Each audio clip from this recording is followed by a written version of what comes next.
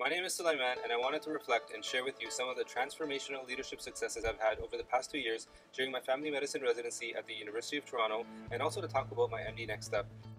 Early on in residency, I felt extremely frustrated and unsatisfied because of the very high volume of patients with mental health challenges.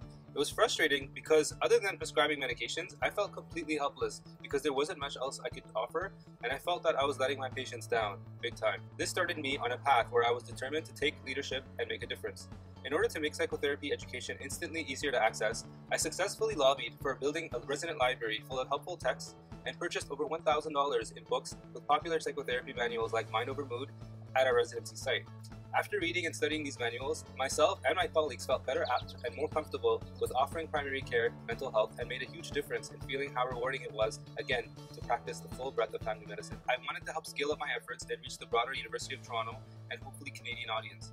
To do so, myself and Dr. Al Hoshani took on the task of creating a survey and focus groups where we could meet with residents to better understand their needs and learn how we can help better advocate for each other in terms of psychotherapy education and also for our patients with mental health challenges. To help disseminate our research, we're super grateful for having the opportunity of presenting our findings at three conferences and counting.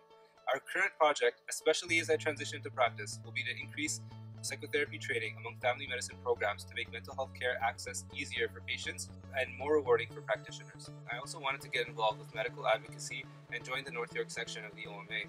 Within a short period of time, myself and, and the section chair, Dr. Michael Perret, created a series of eight talks called Creating Meaningful Dialogue and Allowing a Social Atmosphere Outside the Work Setting for residents and physicians to unwind and share ideas on sensitive but important topics.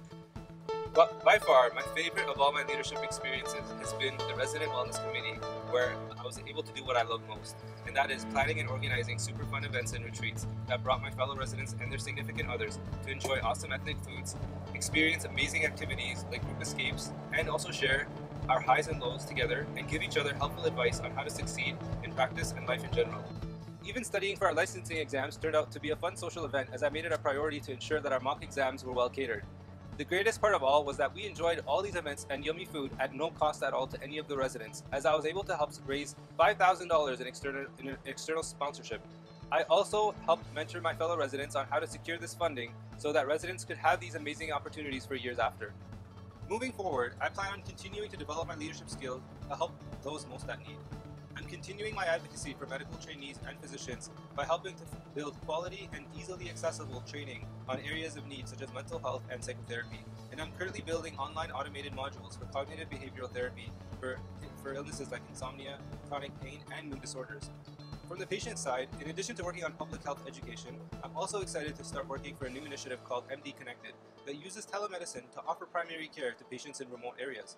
Finally, I hope to continue working with organizations like the OMA to work on physician and patient advocacy, and also working in academia and teaching to do my part in helping to train the next generation of phenomenal physicians. Thank you.